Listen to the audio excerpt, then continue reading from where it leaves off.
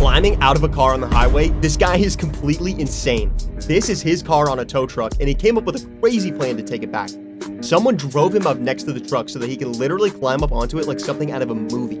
Once he's on, he very carefully walks to the back, but there's only one problem. He's got to unhook